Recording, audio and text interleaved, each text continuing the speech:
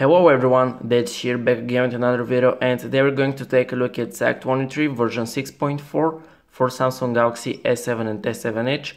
So when we go to about phone software information you can see that uh, nothing new over here. Android 7.0 with Samsung Experience version 8.1.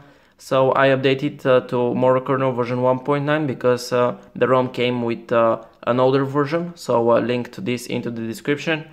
Also, it comes with the latest uh, 1st of uh, August uh, security patch, but over here it says 1st of May, so don't take a look at uh, this. It's actually the August one.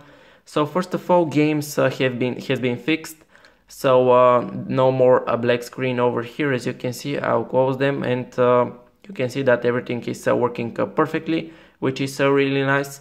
So next thing is that a couple of S Note 8, sorry things have been added. So for example, air command, which uh, I can't make to work. I don't know why it's uh, not even in Magisk. So when I go to Magisk Super User, you can see that uh, it's not over here. So um, I'll try to uh, figure out a way to uh, this uh, to work. So and also a couple of Note 8 applications which I couldn't find. So I didn't find any change. So I went through the calendar, calculator, and everything, but it seems uh, everything is uh, the same as before. You have a game tuner so um, this is provided with game launcher. This basically is uh, some kind of a game center for your games. You can uh, change uh, almost everything for your games over here. I'm not uh, going through this right now. So let's go to Sac 23's settings application the ROM control if i only can find it. Yes so a couple of interesting things over here are that when you go to notification panel um, let me just take a look at it. So um, it must be into this option. So uh, basically nothing uh, is uh, really changed over here. Just a, a, couple of things. Whoa, from so many options I can't find the one I'm searching. Yes so here is status bar cover.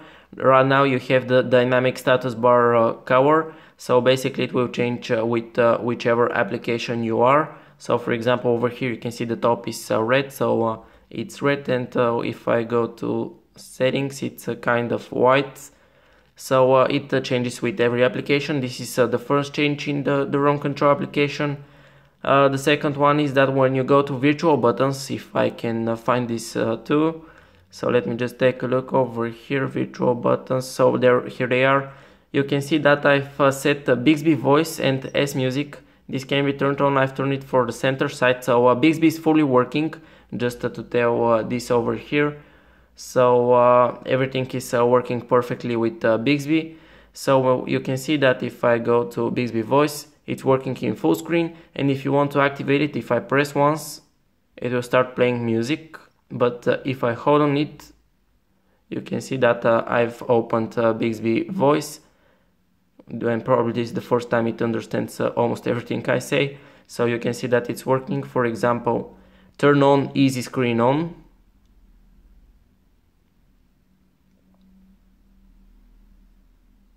And you can see that it's working. It also has a feedback but I've turned my uh, media volume to zero so uh, everything is uh, working uh, perfectly with Bixby and Bixby Voice and right now you have uh, the opportunity to activate it uh, with the virtual button. You can't activate it with uh, either one of those keys but probably this will be fixed soon. So um, basically these are the things that were changed. Also there were into the camera application it, there is a fix for where video and photos couldn't focus where they should but right now it's working perfectly. So uh, also Bixby Vision is uh, fully working as you can see over here. I'm uh, sure about that because everything uh, with uh, Bixby related is uh, working perfectly.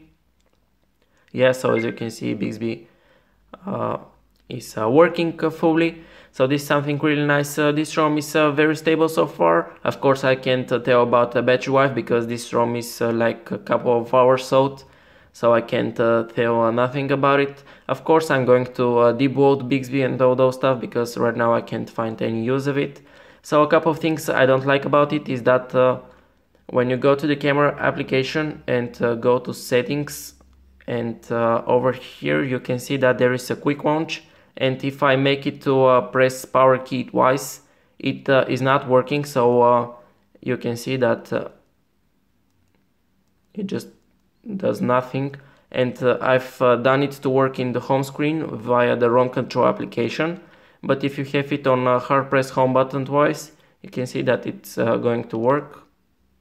So uh, it's working perfectly with this one. Can't say why. And also there is some delay when clicking the buttons. You can see over here. And I don't know why but actually, I know why. This is uh, because of the uh, ROM of this ROM control application. The key mapping mode is making the keys slower. So, for example, you can see I can make it to this. So, like you wait too much time for this, but uh, I don't know why there is a key mapping mode. I've talked to Sat, probably he's uh, going to fix it. So basically this is it uh, for this video. If you want and if you have any questions, be sure to leave them down into the comments section. So thank you for watching and see you soon.